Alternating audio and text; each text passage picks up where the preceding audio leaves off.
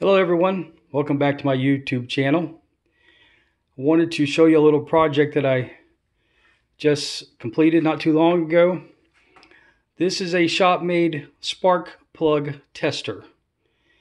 And what inspired this was I was at an engine show years ago, had been working on an engine, thought I had it pretty good, bought a brand new spark plug, put it in the engine, cranked it up, and the engine ran all day very well. Got up the next morning and went to crank the engine up, wouldn't crank. Ended up that my brand new spark plug was the problem. Replaced this brand new spark plug and it started up. Similar thing happened a little bit later.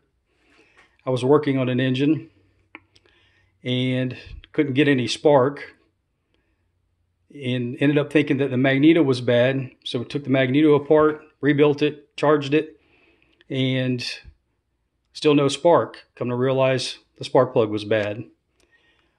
So I built this little tester. Now the first thing I do is when I get an engine is to test a spark plug. So this little tester is um, my my design. Um, if you look at uh, Shop Dog Sam's channel, he has a really good design also, and you can make your own. But let me tell you, show you how I set this up. This one is uses a Model T buzz coil, and I'm gonna tilt it back here. Um, you can see here I got uh, the positive on the battery uh, goes up to the top on one side of the micro switch. And the other side of the micro switch, the, the red wire comes out and goes down to the positive side on the back of the Model T buzz coil. I chose to ground the system coming out of the bottom of the Model T buzz coil over here to an alligator clip.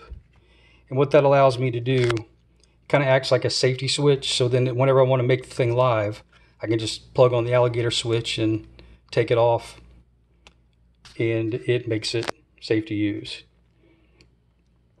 So how I test a spark plug is with this micro switch right here. So we'll come down and hook up, sorry, hook up our battery, alligator clip. Okay, she's on there.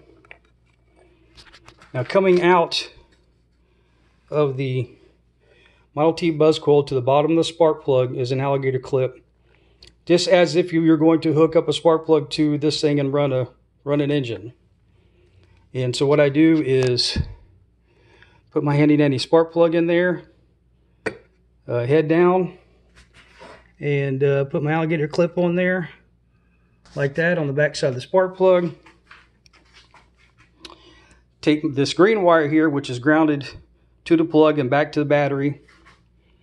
Put that on the bottom of the plug and hit this micro switch and we should get a spark. See if I, let me turn this light off, see if that helps make it a little bit better.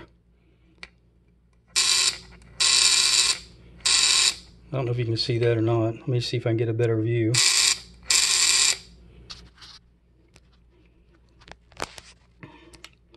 Let me turn the flash off on the camera and see if that works any better.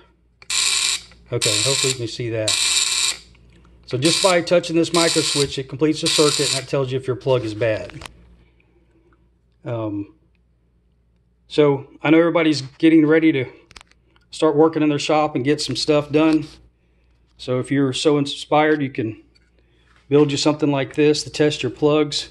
I actually carry this with me to the shows. And um, that, way I know I can instantly avoid a problem. Uh, what I chose to do is carry my little gauge here to test my gaps. And uh, I drilled two holes for a big plug and a small plug.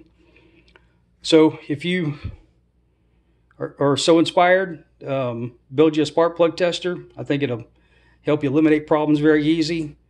Um, there's several guys on YouTube that have them. Uh, they, they built their own design. This is just my design. And uh, check all those out and build you a spark plug tester. Hope this helps you out. Thanks for watching. Bye-bye.